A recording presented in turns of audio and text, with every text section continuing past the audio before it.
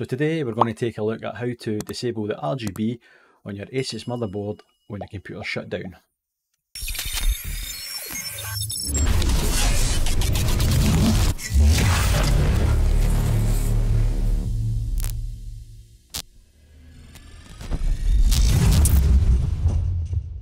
Hello folks and welcome back again. So recently you've maybe decided to buy yourself a, a nice new pre-built PC from uh, one of the companies out there or you've decided to give it a try yourself and you've built your very first PC or you've just decided to upgrade your motherboard.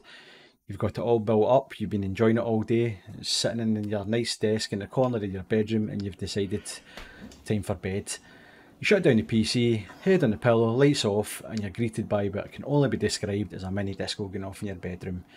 No chance you're going to sleep in that, and it's all thanks to these little RGB lights on your motherboard that decide to stay on when the PC is shut down. What I'll do is I'll go through a couple of the suggestions that I noticed online for how to get the lights to stay off when you shut your PC down. Didn't exactly work for me, but then I'll show you exactly what I did do to, to keep them off uh, when your PC is powered down. One of the first things that was suggested to try is to go into your BIOS and then hit advanced and go down to onboard devices and then if you scroll down to the bottom here you should see some options for turning off some of the RGB. Um, this didn't work for me at all. It seemed as if it was going to work, the options are there. Other, other people stated it would work but it, it didn't ever work for me. So the other thing that I, um, I noticed was suggested was to go back into advanced um, and then to your power management.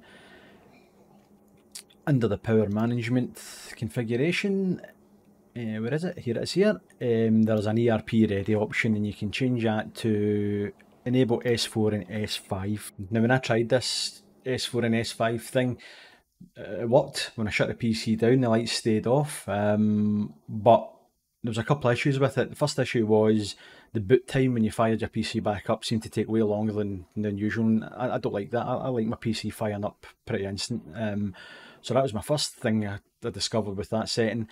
The other thing was that for some bizarre reason my graphics card didn't kick in in the first boot.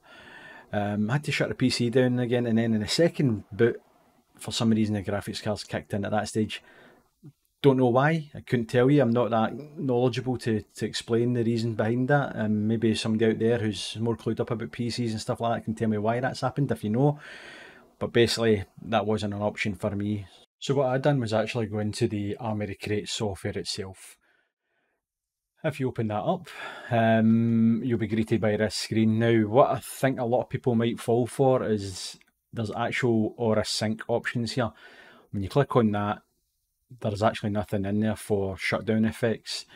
What you actually need to do is click on the devices itself, click on your motherboard, and then you'll see an option here for shutdown effect.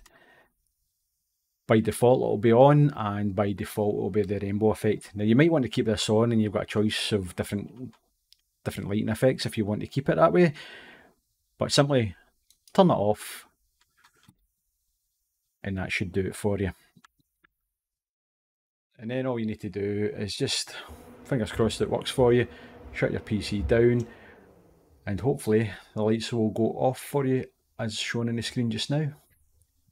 Yeah, so that's it. That's another video over and the sun's gone so I'm sitting here in darkness with no lights on. But uh, yeah, I thought I'd just make this, um, it's just one of those things that might catch people out thinking going into the BIOS and changing these settings and nothing works. It's, it's just a, a case of the getting into the Armoury Crate software and, and ticking that little option and hopefully it all works out for you.